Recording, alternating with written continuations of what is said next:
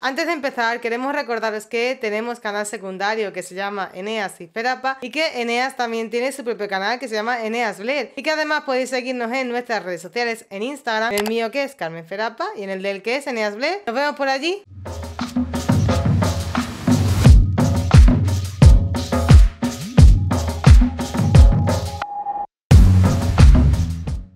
Bienvenidos, soy Carmen Ferapa con Eneas Blair. y hoy traemos otro vídeo de reacciones. Reacciones. ¿A qué vamos a reaccionar hoy? Hoy vamos a reaccionar a cómo es Chile el país más largo y segundo más sísmico del mundo. Un vídeo muy cortito, no sé muy bien qué va a explicar, pero bueno, vamos a conocer un poquito más de Chile, que estamos viendo muchas cositas de Chile. Yo creo que dará algunos datitos. Sí, yo supongo que será una lista de datos. Sí, yo creo que sí, de curiosidades de Chile, cosas que tiene Chile, que no tienen otros lados. A ver qué conocemos ya y a ver qué no Sí, conocemos. por cierto, daros muchísimas, muchísimas las gracias a todos los que estéis viniendo y todos los que nos ponen recomendaciones en los comentarios. Muchas gracias. Si que recomendarnos un vídeo que te parezca bonito, interesante, curioso, lo que sea, pon en los comentarios porque estamos nosotros siempre leyendo y contestando. La primera vez que nos estás viendo, te invito a que le dejes el botón de suscribir porque subimos videos. Todos los días. Vale, vamos a ver cómo es Chile lo que debes saber del país más largo y segundo más sísmico del mundo. Va.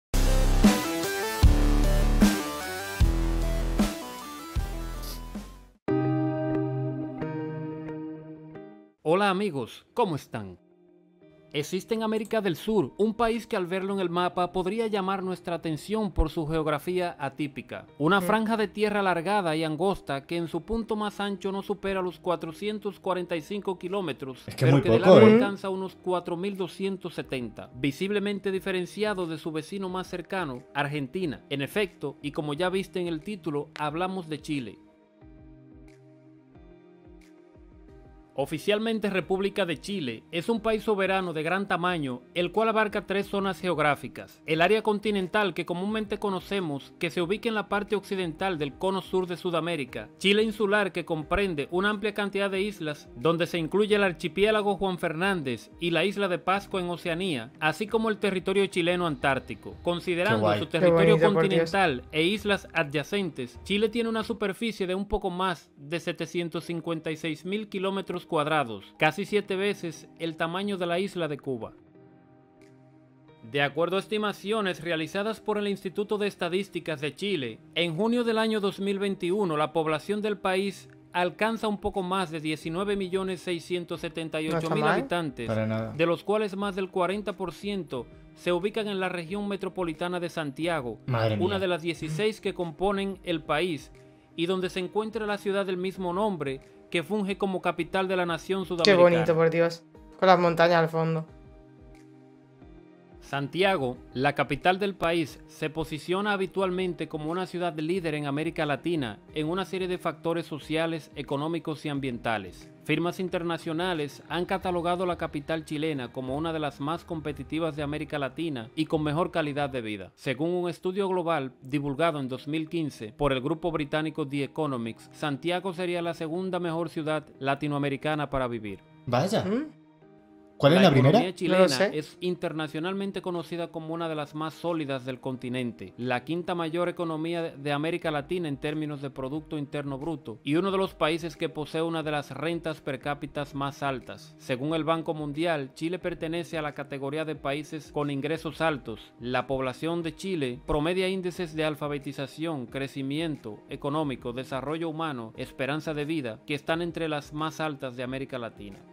La minería, la agricultura y más recientemente el turismo son las principales actividades económicas del país. Chile es el mayor productor mundial de cobre, litio y yodo, como también de productos agrícolas como uvas frescas, arándanos, ciruelas y manzanas deshidratadas. En Chile se encuentra el desierto de? Atacama, conocido como el desierto más árido del mundo, cubriendo una superficie de aproximadamente Que mira que- 105 mil kilómetros cuadrados. Una ecorregión En plan, rica en ¿qué recursos diferencia? Sí, fondo sí, con- metálicos, muchísimo. como el cobre, del cual Chile es el mayor es. productor a nivel mundial. Grandes observatorios astronómicos como el Paranal se encuentran en el país, emplazados en las regiones de Antofagasta, Atacama y Coquimbo. Chile se ubica a lo largo de una zona altamente sísmica debido a la subducción de las placas de Nazca y Antártica en la placa sudamericana.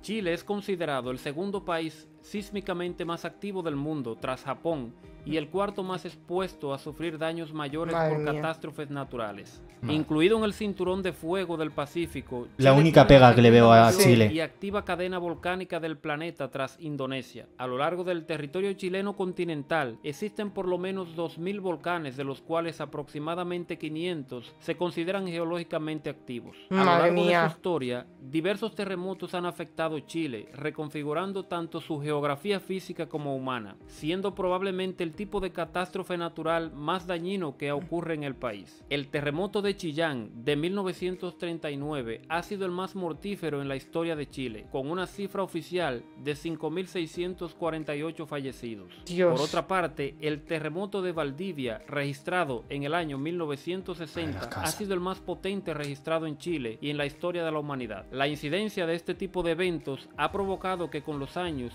Chile sea pionero en el desarrollo de tecnologías antisísmicas que hoy se no. utilizan en digo. otros países. Si te ha gustado este video, te agradecería que lo apoyes con un like y considera suscribirte a este canal para que puedas disfrutar de otros videos similares. Mi nombre es Juan y por el momento solamente me queda decirles hasta una próxima ocasión. De verdad, que lo único, la única pega que le pongo a Chile pega.